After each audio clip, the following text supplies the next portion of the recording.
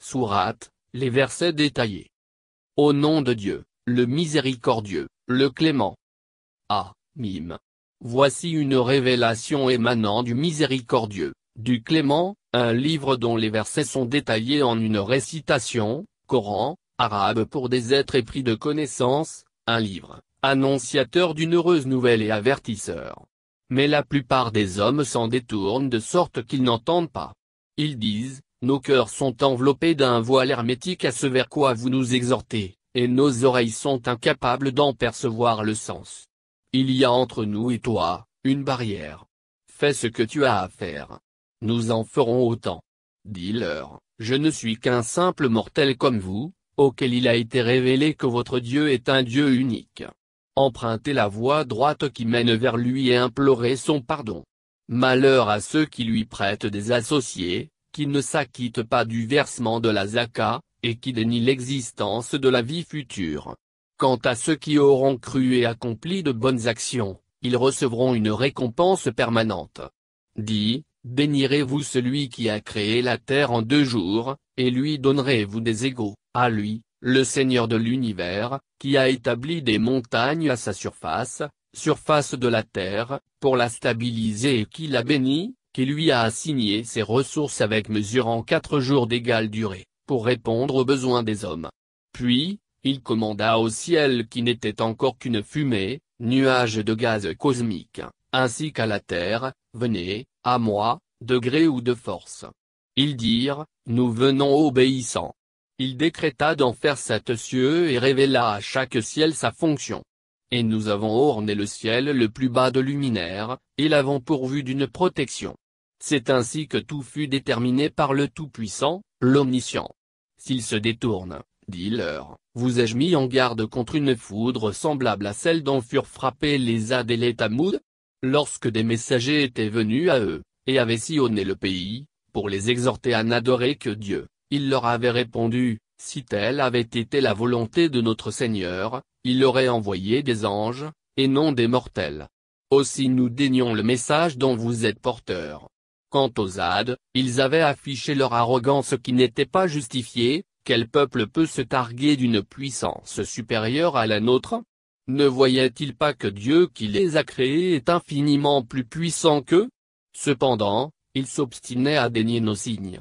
C'est alors, que nous déchaînâmes contre eux un vent rugissant et glacial, qui souffla durant plusieurs jours funestes, afin de leur donner en ce monde ici-bas, un avant-goût de ce que peut être un châtiment infamant. Mais, le supplice qui leur sera infligé dans la vie future est autrement plus infamant, sans compter qu'ils n'y auront aucune chance d'être secourus. Quant aux Tamoud, bien que nous leur ayons indiqué la voie à suivre, ils préférèrent l'aveuglement, l'égarement, à la guidance. Aussi furent-ils saisis par un tourment avilissant pour prix de leurs agissements. Mais nous épargnâmes ceux d'entre eux qui avaient cru et craignaient leur Seigneur. Viendra le jour où les ennemis de Dieu seront rassemblés et traînés par groupes dans les flammes de l'enfer. Une fois qu'ils le verront, l'enfer, leur oui, leur vue et leur peau, en tant qu'organes, témoigneront contre eux de leurs agissements. Ils diront à leur peau, Pourquoi témoignez-vous contre nous? Elle répondra, C'est Dieu qui nous a dotés de l'élocution, celui qui dote toutes choses du langage, qui vous a créé une première fois et vers lui vous êtes ramenés. Vous ne faisiez rien en cachette de sorte d'empêcher vos oreilles, vos yeux et votre peau de témoigner contre vous, voire, vous pensiez que Dieu ignorait la plupart de vos actes. Ce sont vos présomptions à propos de votre Seigneur qui ont précipité votre perte. Vous voilà à présent du nombre des damnés. S'obstinerait-il, que l'enfer n'en serait pas moins leur demeure ultime? Implorerait-il d'être renvoyés sur terre, pour une seconde chance, qu'ils ne seraient pas renvoyés. Nous leur avons destiné des compagnons, mauvais génies. Ils avaient embelli leurs actions à leurs yeux, aussi bien présentes que passées. C'est ainsi que s'accomplit à leur encontre le décret qui, jadis, s'accomplit à l'encontre de bien des peuples parmi les djinns et les hommes. C'est ainsi qu'ils rejoindront les damnés. Les dénégateurs disent, n'écoutez pas ce Coran, et couvrez sa récitation de vos verbiages. Peut-être aurez-vous le dernier mot. nous infligerons à ceux qui ont dénié un châtiment terrible, et nous les rétribuerons en tenant compte de leurs péchés les plus graves. C'est ainsi que la rétribution des ennemis de Dieu sera l'enfer, où ils auront demeure éternellement pour avoir renié nos signes. Ceux qui dénient disent, Seigneur, désigne-nous ceux des djinns et des hommes qui nous ont égarés. Nous voudrions les reléguer sous nos pieds afin qu'ils séjournent, en enfer, à un niveau inférieur, au nôtre.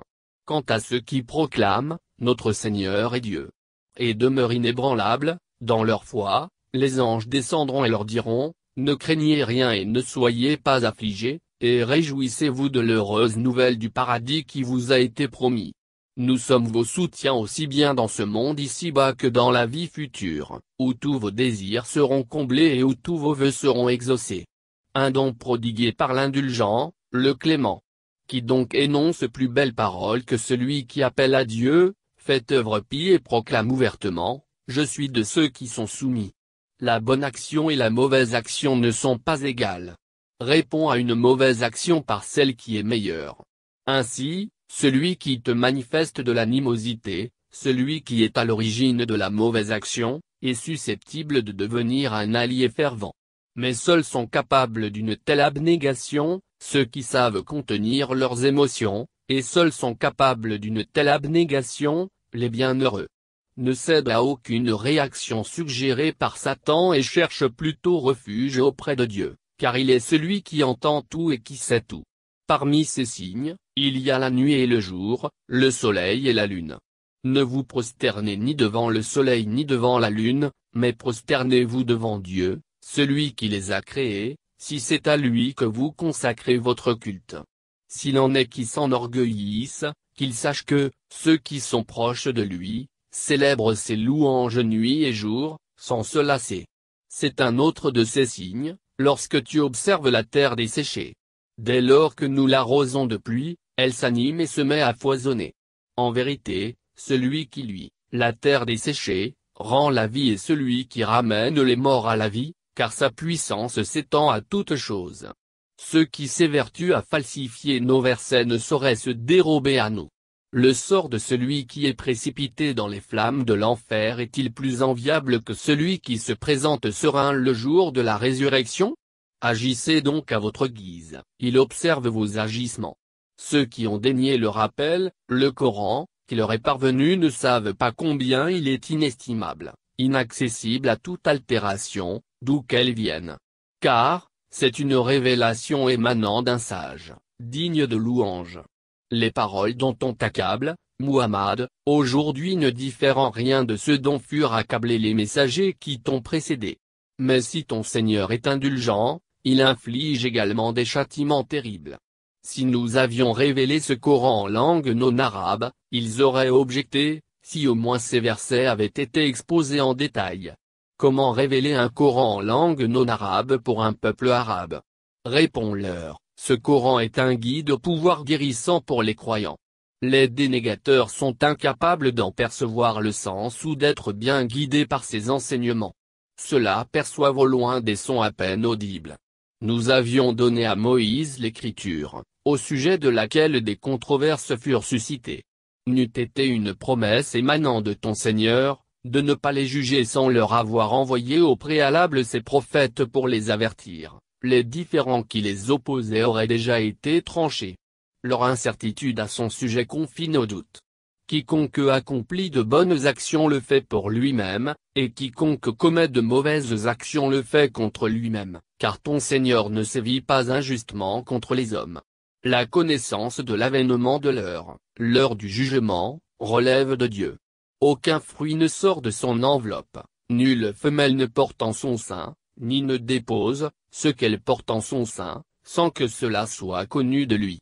Le jour où Dieu interpellera les impies, où sont les divinités que vous m'associez?